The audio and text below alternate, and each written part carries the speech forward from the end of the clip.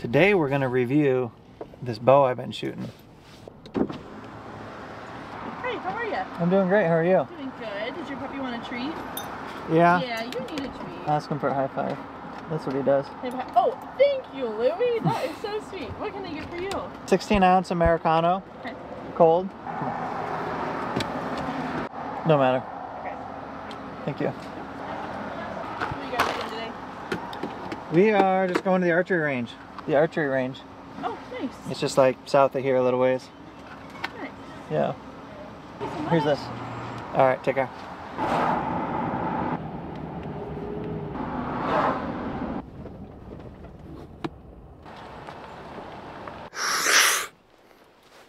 This year, I decided to switch bows, switch it up. Wanted to try some different stuff, and I found a bow that I really like and enjoy. Want to share some of that with you, but also it has some quirks, things I would probably set up or change differently. You know that one dude, Cam Hanes? Hi Cam, shout out to Cam. the guy who runs a lot, shoots his bow a lot, lifts often.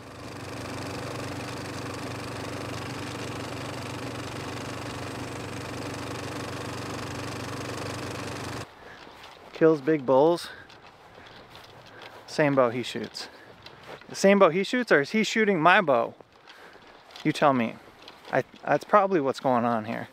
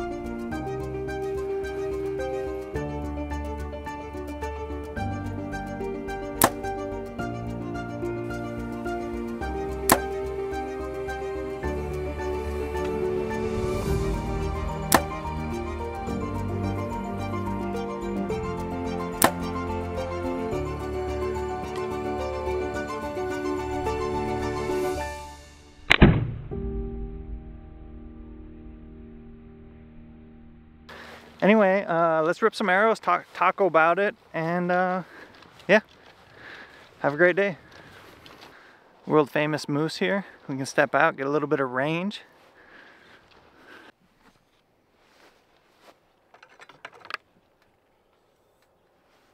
How about that finish? One of my favorite all-time colors and finishes on a bow. It's called Battle Worn. Love it. All right, let's start with the rundown. Hoyt VTM 34, aluminum 34 inches axle to axle. Battle worn finish, it's a cool gray finish. Probably one of the things that immediately made me want to, it was eye catching. It was something I wanted right away when I saw it. Set up, Hoyt one piece quiver on the side, pretty rad. Sticks nice and tight to the bow. You can remove it which I'm a fan of. I do like taking the quiver off though. It's nice to shoot with the quiver off. Podium, 15 inch bar out front with one, two, three ounces. 10 inch bar in back with four or five ounces. One thing you can see here is this back bar is actually kicked out quite a bit to the side. And I just had to do that to get that bow to sit nice for me. It's probably the only thing that's kind of, I guess, a little quirky with my setup. And I'm using the Hoyt direct back bar mount. Really clean and simple the way it mounts up in the back here. I ripped the grip off immediately. And this is one thing where I feel like there's room for improvement. I don't mind shooting off the riser here. Like it feels pretty dang good.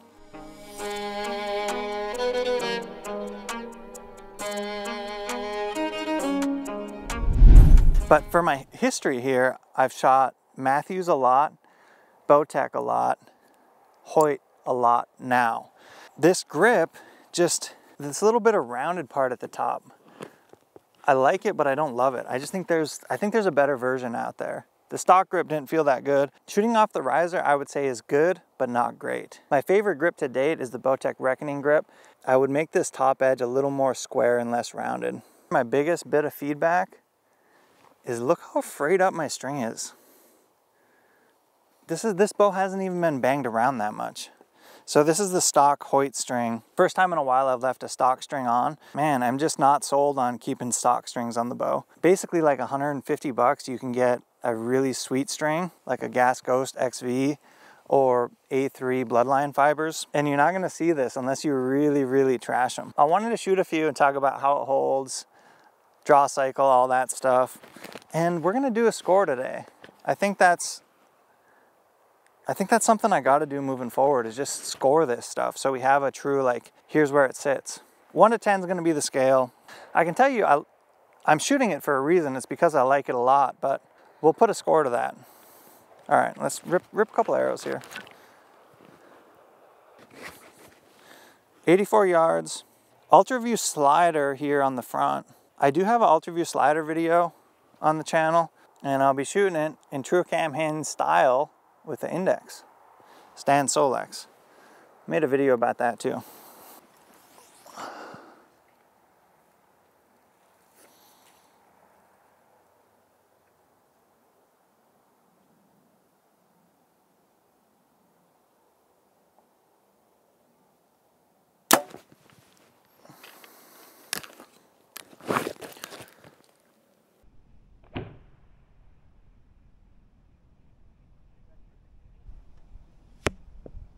I did get to drag this around on a 10 day hunt and beat up on it pretty good.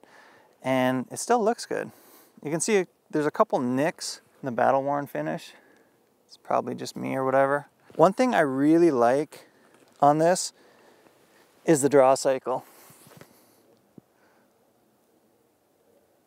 I don't get any of any of this like funny business. Like a, uh, maybe you've seen someone shoot before and the cams roll forward a little. I don't get any of that herky jerky business and the whole the draw cycle back, there's no, it's just nice. There's no heavy rollover and the cams are really efficient.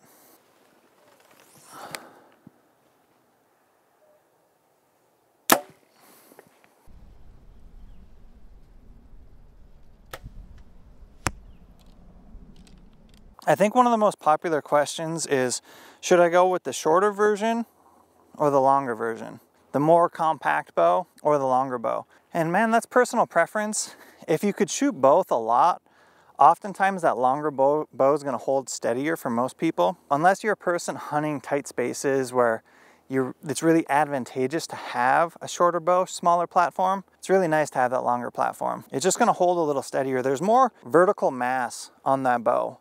And because of that, it's gonna tend to wanna hold like this better and get less of the side to side. All of today's modern bows you can shoot accurately. So it's not like you can't shoot accurately with a shorter platform. It's just a longer platform is gonna be a little more forgiving. And that's really gonna come down to your hunting style, where you're hunting, and how you're hunting.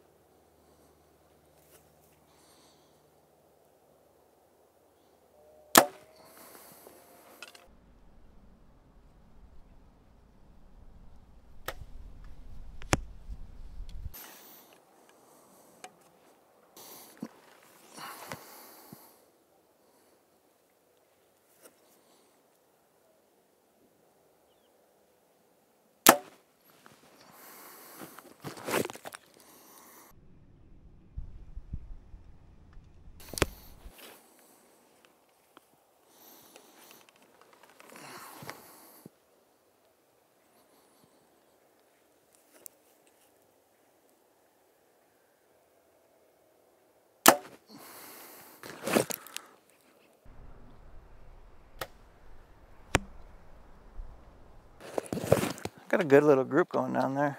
I wanted to go through the setup with you today to want to give you my opinion, but also when you're setting a bow up, it's nice if you can have some kind of starting point or platform. As everything sits here, it's nicely balanced and really well set up for hunting.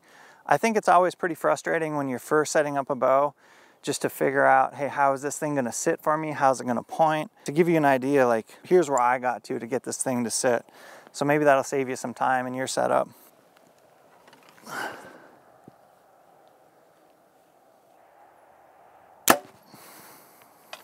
I'm gonna go pull these arrows. Uh, a few considerations if you're trying to buy a new bow.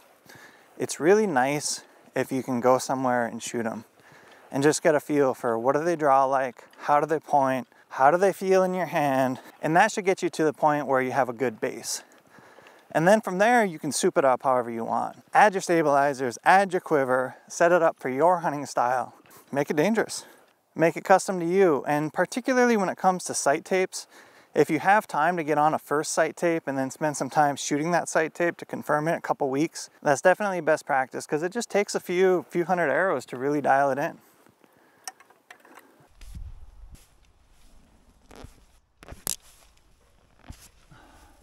Basically, Justin, Justin's the dude here and I don't tune my own bows. I'm working on learning, but I'm just I'm just entry level. So Justin, I wanted to get Justin's feedback real quick on what's it like to tune a Hoyt. Outside of just making sure that you have the proper arrow setup for um, your given draw weight, draw length on the Hoyt VTM series. Any lateral tears that you're going to experience from a tuning standpoint, you're left using their shims that are going to space the cam in between the limbs left, right, a little bit at a time. I know Josh has done a video on just how much this moves tear laterally, but this is effectively doing what you would do with systems from other manufacturers that allow you to reposition the strings orientation in relation to the riser. That's a really cool and simple way to do it. Hoyt has made some preset sizes that work really well and cover most guys uh, individual hand torque into the bow and they also have a really nice tool that as long as you have even pressure from the fingers in your press onto the limbs, it's really easy to pop this axle out,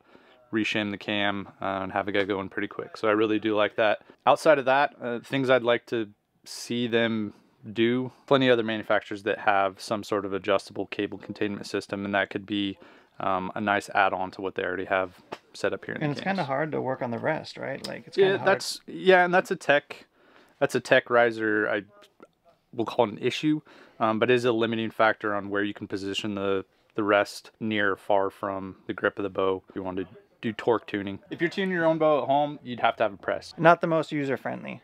Bowtech, much simpler, more friendly.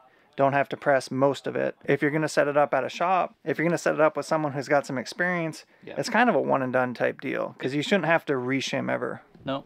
Eventually, on bows where, let's say we had to shim one of these cams real heavy left or right, say top and bottom, it does put a little extra strain, wear and tear on the bearings. And on if you're a Hoyt owner, I'd say every, depends on how much you shoot to, every two to three years, probably want to swap your bearings out. And if you have an authorized retailer, uh, they can definitely do that for you, but that's a good thing to do. And how far can we swing the draw length on this? Their new system, the HBX cam, there's two modules that cover a variety of ranges. And if you look in your upper limb here, you've got K through E, which is effectively module in and of itself. So the closer you fall to the top of either of these given modules, so on this bow, at 29 and at 31 you're basically maxing out that module's efficiency. Two mods to control the length one base cam to put it on. It's it's a really nice system. I was just talking with a customer right now about the difference between their newer their newer cam setup and their old cam and a half systems of old. I love these bows.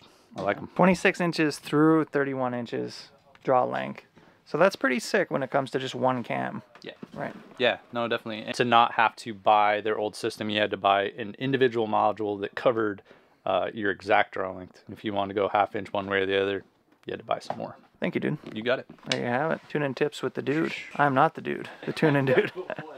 to close this thing up, if you're doing some bow shopping, this is a bow I would consider. Shoot it, see what you think, see if it works for you. It's been a great hunting bow for me take 37. I'm trying to do a good job here.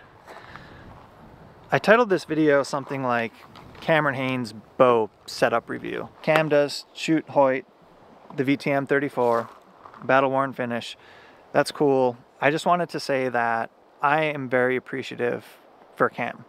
I got to spend time around him about a year ago, filming, hanging out a little bit, had interaction with him on social media. Cam is always nothing but positive, and what you see is what you get all the stuff you see on socials, he's doing that. He's working hard. And I know he hasn't set out to be a spokesperson. That's not necessarily his goal. He's become a really amazing spokesperson for hunting and archery. Just wanted to give a quick shout out to him. I'm very thankful for for having positive voices. As my reach has grown on social media, I'm very appreciative for the positive voices we have in the hunting industry. It's not necessarily the easiest thing to put yourself out there to you know, the critique of however many people you reach, but we need it. We need those voices and, and good representatives of what hardworking, ethical hunters, archers, sportsmen, sportswomen, we need all the voices we can get because let's face it, we're a minority, not a majority. For the people that are putting a positive light on archery, hunting, being outdoors, thank you for what you're doing. Big shout out to Cam for just being a positive spokesperson. I'm gonna close it there today. Thank you for hanging out. Subscribe to the channel. I'm chasing up that road to 100,000 subscribers. It means a lot to me. And we're gonna do a big bash here, right at Spokane Valley Archery when we get there. Let's get it cranking. Subscribe, leave it a thumbs up. That stuff helps more than you know. I will catch you back here for the next one. I told you I would give this bow a score. I'm gonna go with 7.8. It's a great bow. I like it the, to bring it into the eights or even maybe a nine. Better string, more user-friendly to tune, maybe a different grip. Overall, it's a great platform. I'm glad I have it. Pros and cons with every bow you choose. Yeah, that's where we're gonna sit with this one. 7.8. Beautiful bow, beautiful finish. That's a wrap.